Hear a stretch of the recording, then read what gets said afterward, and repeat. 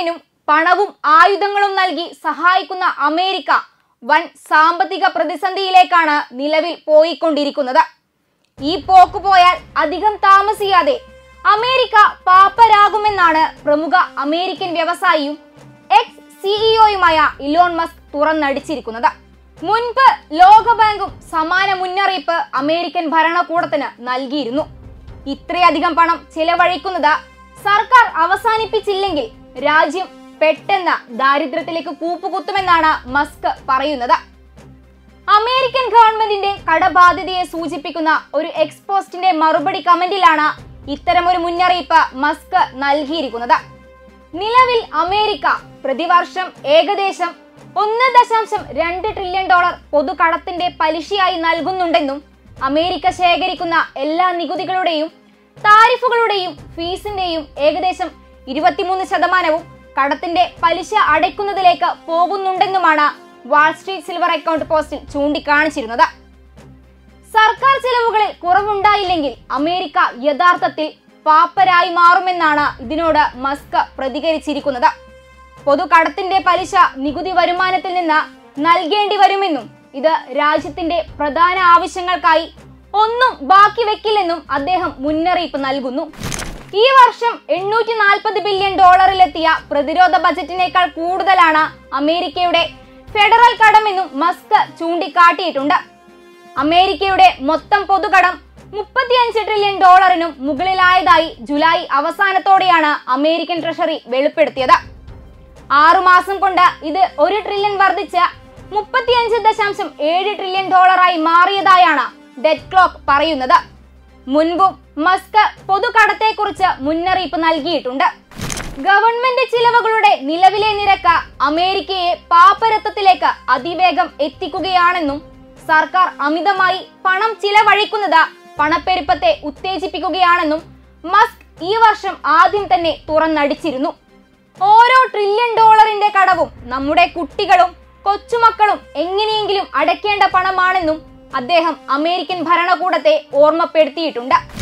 ലോക സാമ്പത്തിക ശക്തിയായ അമേരിക്കയുടെ നിലവിലെ അവസ്ഥയാണ് മസ്കിന്റെ വെളിപ്പെടുത്തലിലൂടെ ലോകത്തിന് മുന്നിൽ വരച്ചുകാട്ടപ്പെട്ടിരിക്കുന്നത്.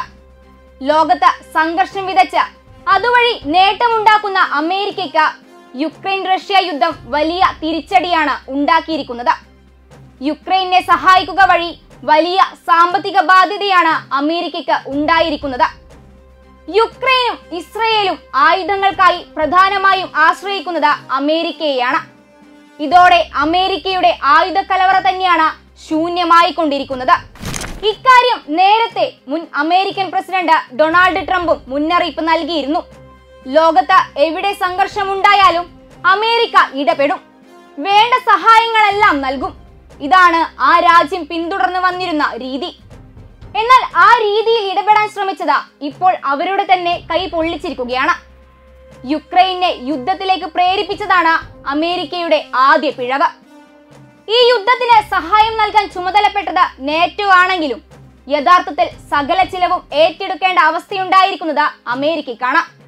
ഇതിന് പിന്നാലെ പശ്ചിമേഷ്യയിലേക്ക് സംഘർഷം വ്യാപിച്ചതും അമേരിക്കയുടെ കണക്കുകൂട്ടലുകൾക്കും അപ്പുറമാണ്. യുക്രൈൻ റഷ്യ ഇസ്രയേൽ ഹമാസ് ഏറ്റുമുട്ടലുകൾക്ക് പുറമെ ലബനൻ കൂടി ആക്രമിക്കപ്പെട്ടിരിക്കുകയാണ്. ഇവിടെയെല്ലാം ഉപയോഗിക്കപ്പെട്ട ആയുധങ്ങളിൽ ഭൂരിപക്ഷവും അമേരിക്കയുടേതാണ്. ഇറാൻ ഇസ്രയേലിനെ ആക്രമിച്ചതോടെ സംഘർഷം ഇപ്പോൾ പുതിയ തലത്തിൽ എത്തിയിരിക്കുകയാണ്. ഇറാനെ ആക്രമിക്കുമെന്നാണ് ഇസ്രയേൽ വ്യക്തമാക്കിയിരിക്കുന്നത്. ഇതിനെ പരിധികളില്ലാതെ തിരിച്ചടിക്കുമെന്ന ഇറാനും മുന്നറിയിപ്പ് നൽകിയിട്ടുണ്ട്. യഥാർത്ഥത്തിൽ ഇപ്പോൾ ശരിക്കും കുടുങ്ങിയിരിക്കുന്നത് അമേരിക്കയാണ്. അമേരിക്കയുടെ സാമ്പത്തിക ആയുധ അടിത്തറ തകർക്കാൻ ഈ അവസരം ഉപയോഗിക്കാനാണ് റഷ്യൻ ചേരി തീരുമാനിച്ചിരിക്കുന്നത്. ഇറാൻ ചൈന ഉത്തര കൊറിയ രാജ്യങ്ങളെ കൂട്ടുപിടിച്ച് ഇതിനായി പുതിയ പോർമുഖങ്ങളാണ് റഷ്യ തുറന്നിരിക്കുന്നത്. യുക്രൈനെ തുരത്താൻ ഉത്തര കൊറിയൻ സൈനികരും റഷ്യക്കൊപ്പം ചേർന്നു കഴിഞ്ഞു. സ്വന്തം സൈനികരെ പരമാവധി കളത്തിലിറക്കാതെ തന്ത്രപരമായ സമീപനമാണ് യുക്രൈനെതിരായ സൈനിക നടപടിയിൽ റഷ്യ തുടക്കം മുതൽ സ്വീകരിച്ചിരുന്നത്. അതാകട്ടെ അവരുടെ സ്ട്രാറ്റജിയുമാണ്. ഇപ്പോഴും യുക്രൈനെതിരെ റഷ്യ യുദ്ധം പ്രഖ്യാപിച്ചിട്ടില്ലെന്നതും ശ്രദ്ധേയമാണ്. മുൻപ് റഷ്യയുടെ ഭാഗമായിരുന്ന യുക്രൈനോട് റഷ്യ കാണിക്കുന്ന മാനുഷിക പരിഗണനയൊന്നും ഉത്തര കൊറിയൻ സൈനികരുടെ ഭാഗത്തു നിന്നും ഉണ്ടാകുകയില്ല. പുട്ടിനെ സന്തോഷിപ്പിക്കാൻ പറ്റുന്ന ഒരവസരവും ഉത്തര കൊറിയൻ ഭരണാധികാരിയായ കിം ജോങ് ഉൻ പാഴാക്കുകയുമില്ല. നിലവിൽ പന്തീരായിരം ഉത്തര കൊറിയൻ സൈനികർ റഷ്യയിൽ എത്തിയതായാണ് അമേരിക്കൻ രഹസ്യാന്വേഷണ ഏജൻസികൾ റിപ്പോർട്ട് ചെയ്തിരിക്കുന്നത്.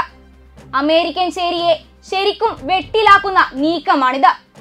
ഇതിനു പുറമെ അമേരിക്കൻ സഖ്യകക്ഷിയായ ദക്ഷിണ കൊറിയക്ക് നേരെയും ഉത്തര കൊറിയ പ്രകോപനം ഉണ്ടാക്കി തുടങ്ങിയിട്ടുണ്ട്. അമേരിക്കയിലെത്താൻ ശേഷിയുള്ള ആണവ മിസൈലുള്ള രാജ്യം കൂടിയാണ് ഉത്തര കൊറിയ എന്നതും നാം ഓർക്കേണ്ടതുണ്ട്. അമേരിക്കയുടെ മറ്റൊരു സഖ്യകക്ഷിയായ തായ്വാന് ചുറ്റും വൻ സൈനിക വിന്യാസം നടത്തി ചൈനയും അമേരിക്കയെ സമ്മർദ്ദത്തിലാക്കിയിട്ടുണ്ട്. ഇവിടങ്ങളിലെല്ലാം ഏറ്റുമുട്ടൽ നടന്നാൽ നേറ്റോയും അമേരിക്കയുമാണ് പ്രതിരോധത്തിലാകുക. യുക്രൈൻ ഇസ്രയേൽ തായ്വാൻ ദക്ഷിണ കൊറിയ എന്നീ രാജ്യങ്ങൾക്ക് ആവശ്യമായ ആയുധങ്ങൾ നേറ്റോയുടെ പക്കലുമില്ല.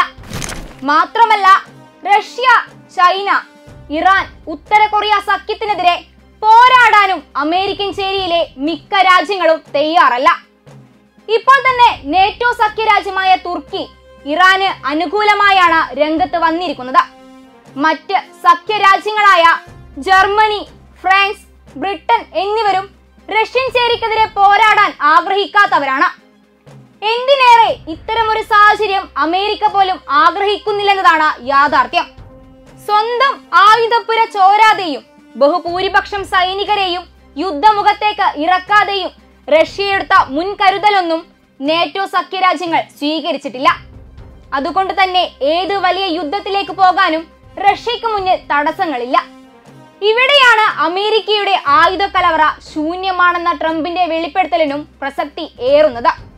അതായത് ഇപ്പോൾ തുടരുന്ന സംഘർഷം ലോകത്തിലെ ഏറ്റവും വലിയ സാമ്പത്തിക ശക്തിയായ അമേരിക്കയെയാണ് പാപ്പരാക്കാൻ പോകുന്നത്.